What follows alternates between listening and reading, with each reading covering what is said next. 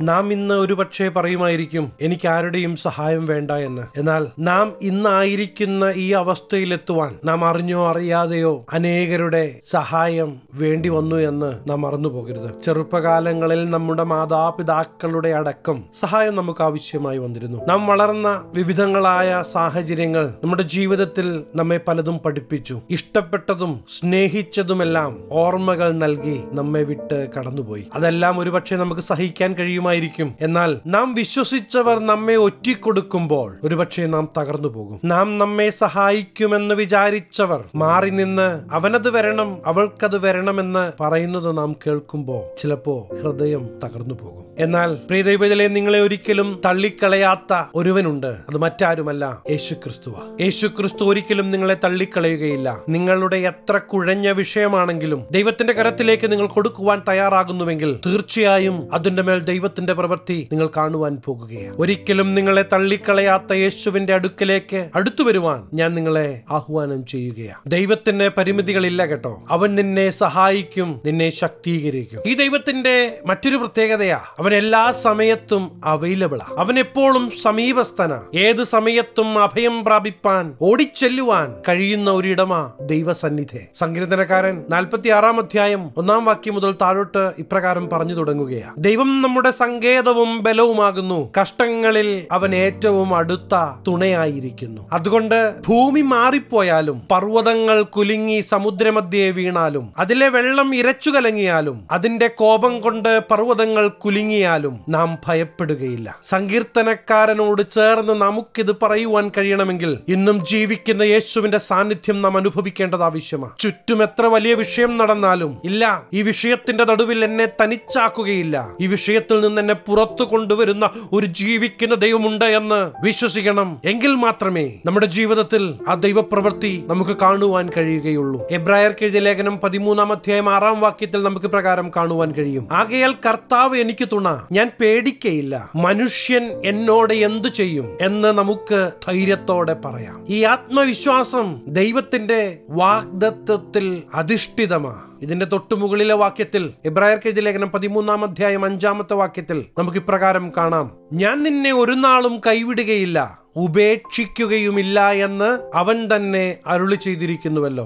പ്രിയ ദൈവ ഇതല്ലേ ഉപേക്ഷിക്കാത്ത നമ്മെ വഴി നടത്തുന്ന നമ്മെ ശക്തീകരിക്കുന്ന ഈ ദൈവ സാന്നിധ്യം നാം ഒന്ന് അനുഭവിക്കണമെന്ന് ദൈവം നമ്മെക്കുറിച്ച് ആഗ്രഹിക്കുകയാണ് ദൈവം നമ്മുടെ ജീവിതത്തിൽ ഒരു കാര്യം പറഞ്ഞിട്ടുണ്ടെങ്കിൽ അത് ചെയ്യുവാൻ അവൻ വിശ്വസ്തന. വ്യാജം പറവാൻ ദൈവം മനുഷ്യനല്ല അനുതപിപ്പാൻ അവൻ മനുഷ്യപുത്രനുമല്ല. താൻ കൽപ്പിച്ചത് ചെയ്യാതിരിക്കുമോ? താൻ അരുളി ചെയ്തത് നിവർത്തിക്കാതിരിക്കുമോ?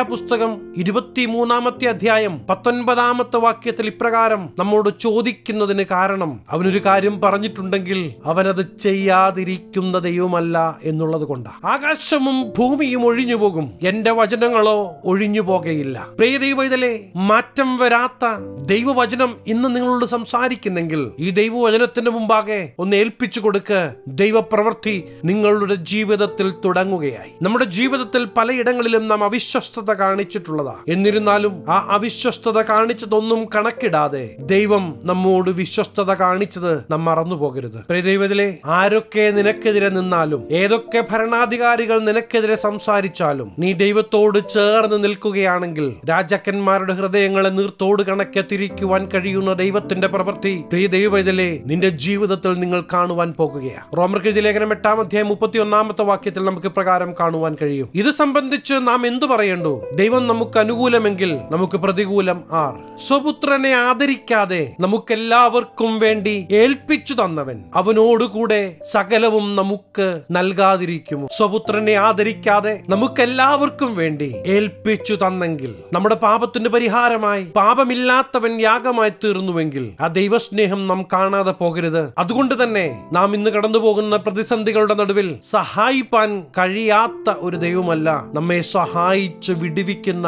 ഒരു ജീവിക്കുന്ന ദൈവത്തെക്കുറിച്ചാണ് ഞാൻ നിങ്ങളോട് സംസാരിക്കുന്നത്. പ്രിയ ദൈവത്തിലെ ദൈവശബ്ദത്തിന്റെ മുമ്പാകെ നിങ്ങൾ ഏൽപ്പിച്ചു കൊടുക്കുമ്പോൾ നിങ്ങൾ മാത്രമല്ല ദൈവിക പദ്ധതി കാണുന്നത്. നിങ്ങളിലൂടെ നിങ്ങളായിരിക്കുന്ന പട്ടണം ദൈവപ്രവൃത്തി കാണുവാൻ പോകുകയാണ് നിങ്ങൾ വിശ്വസിക്കുന്നുവോ? അതെ നിങ്ങളെ ഒരു അനുഗ്രഹമാക്കുവാൻ ദൈവം ആഗ്രഹിക്കുകയാണ് എല്ലാ മേഖലകളിലും ദൈവപ്രവൃത്തി നിങ്ങളിലൂടെ വെളിപ്പെടുത്തണമെന്ന് ദൈവം നിങ്ങളെക്കുറിച്ച് ആഗ്രഹിക്കുകയാണ് ജീവിത മേഖലകളിൽ തനിച്ചാകുന്ന നിമിഷങ്ങളിൽ മറ്റുള്ളവർ ഒറ്റപ്പെടുത്തുന്ന സാഹചര്യങ്ങളിൽ ഭാരപ്പെടരുത്. നിങ്ങൾ ഇപ്രകാരം പറയണം എന്റെ യേശു എന്റെ കൂടെയുണ്ടെന്ന് പറയണം. എന്റെ ശബ്ദം കേൾക്കുന്ന പ്രിയ ദൈവത്തിലെ നിങ്ങളുടെ ഹൃദയങ്ങളെ കലക്കുന്ന വിഷയങ്ങളെ യേശുവിന്റെ അടുക്കിലേക്ക് ഒന്ന് കൊണ്ടുവരണം. നിങ്ങളുടെ ഏകാന്തതയിൽ നിന്ന് നിങ്ങൾ പുറത്തു വരണം. യേശുവിന്റെ സാന്നിധ്യം നിങ്ങൾ അനുഭവിക്കണമെന്ന് ദൈവം നിങ്ങളെക്കുറിച്ച് ആഗ്രഹിക്കുകയാണ്. യേശു നിങ്ങളെ സ്നേഹിക്കുന്നു. യേശു നിങ്ങളെ സ്നേഹിക്കുന്നത് കൊണ്ടാ ഈ ചെറു സന്ദേശം നിങ്ങൾ കേൾക്കുവാനിടയായത്. നിങ്ങൾ നഷ്ടപ്പെട്ടു പോകരുത് എന്ന് ദൈവം ആഗ്രഹിക്കുന്നത് കൊണ്ടാ എന്നെ കൊണ്ട് ഇത് നിങ്ങളോട് പറയിക്കുന്നത്. നിങ്ങൾ വിശ്വസിക്കുവാൻ തയ്യാറാണെങ്കിൽ ഈ ദിവസങ്ങളിൽ തന്നെ ദേശം കാണത്തക്ക വിധത്തിൽ ദൈവ പദ്ധതി നിങ്ങളുടെ ജീവിതത്തിൽ വെളിപ്പെടുകയാ. നിങ്ങളിലൂടെ വെളിപ്പെടുവാൻ പോകുകയാ. ഹല്ലേലൂയ. ആരും തുണയായില്ലാത്ത സമയങ്ങളിൽ കർത്താവ് എനിക്ക് തുണ എന്ന് പറയുവാൻ നിങ്ങൾ തയ്യാറാണെങ്കിൽ ഞാൻ നിങ്ങൾക്കായി പ്രാർത്ഥിക്കുവാൻ ആഗ്രഹിക്കുകയാണ് കണ്ണുകളെ